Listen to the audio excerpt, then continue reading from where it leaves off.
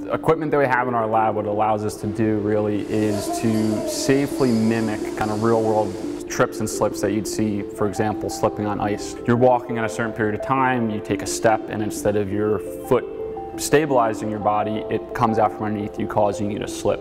So what we can do with the equipment we have here is to very safely kind of expose people to those types of situations with the hope that they get better. So then when they leave our lab and they go out into the real world and they experience a real slip on ice that they don't actually fall and hurt themselves.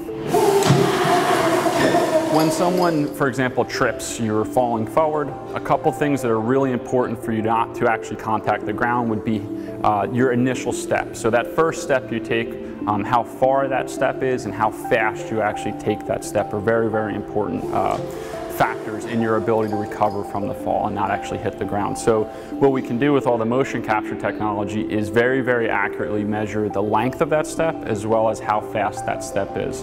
Another uh, thing that we're interested in is the trunk, so what your upper body is doing. So the farther you lean forward, the more you're kind of off balance, the more likely you are to fall. So the more you can kind of stay upright, the, the more likely you are to successfully recover from that trip or slip. So that's what we can measure very, very accurately with the technology we have.